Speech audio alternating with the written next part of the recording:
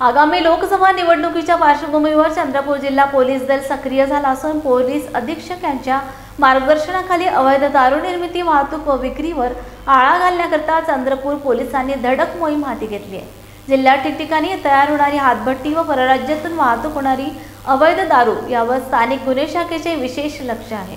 सतरा मार्च रोजी सकाळच्या सुमारास स्थानिक गुन्हे शाखेच्या पथकास गोपनीय माहिती मिळाली की पोलीस स्टेशन भद्रावती अंतर्गत बरांज तांडा येथे एक इसम हातभट्टी लावून अवैधरित्या दारू गाळप करण्याच्या माहितीवरून स्थानिक गुन्हे शाखेचे पथक पोलीस स्टेशन भद्रावती यांचे डीबी पथकासह रवाना होऊन मौजा बरांज तांडा येथे पोहोचून शोध घेतला.